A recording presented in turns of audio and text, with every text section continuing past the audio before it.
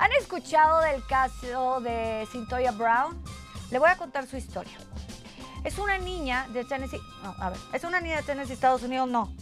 Es, ya es una joven, es una jovencita, pero a sus 16 años, a sus 16, a sus 16 años, una niña, fue condenada a cadena perpetua por disparar y matar a Johnny Allen en el 2004.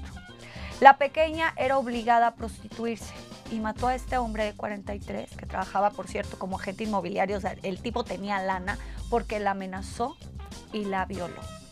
Resumen, por si no entendieron, una nena de 16 años mató a su violador de 43. Así de sencillo. Y la nena, pues está en la cárcel, ¿verdad? Desde el 2004. A Dan Bierman le interesó esta historia e hizo el documental Me Facing Life, Cintoya Story, yo eh, enfrentándome a la vida, mi historia, esta es mi historia, donde pues él comenta cómo conversó con una niña, que pues la metieron a la cárcel siendo una niña, de una familia que llevaba tres generaciones de violencia contra las mujeres. A raíz de este documental de Bierman, que por cierto salió en el 2011, fue tanta la presión que las leyes sobre el tráfico sexual y la prostitución del estado de Tennessee fueron modificadas.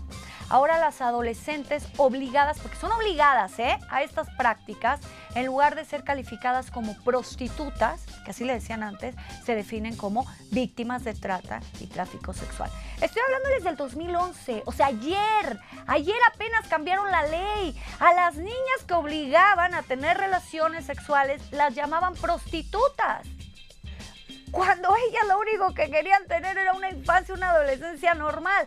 Ya cambiaron el nombre, se llaman víctimas de trata y tráfico sexual. Uy, gracias, en el, en el 2011, no manches. En fin, la cadena Fox acaba de volver a sacar su historia, pero sobre todo cómo va el juicio el juicio de Cintoya. Y a raíz de eso, pues muchas celebridades como Rihanna o Kim Kardashian, pues han gritado, han pedido a través de sus redes sociales con el hashtag Free Brown, hashtag Free Brown, así lo puede usted encontrar en Twitter, en Instagram y en Facebook para saber de pues, todo lo que se está haciendo. Pues han, han pedido que se revise el caso y que liberen a esta mujer que hoy tiene 29 años. Lleva desde los 16 hasta ahora, a sus 29, metida en la cárcel por haberse defendido y matado a un tipo rico de 43 que la amenazó y la violó. Así nosotros, así la vida, así la historia, así esta pequeña, ya convertida en mujer, donde ha vivido pues, prácticamente todo este tiempo rodeada de otras mujeres que tal vez se hicieron sus amigas, tal vez no. Vaya usted a saber todo lo que ha pasado en las cárceles. Usted sabe la cárcel de Estados Unidos luego cómo es. En fin.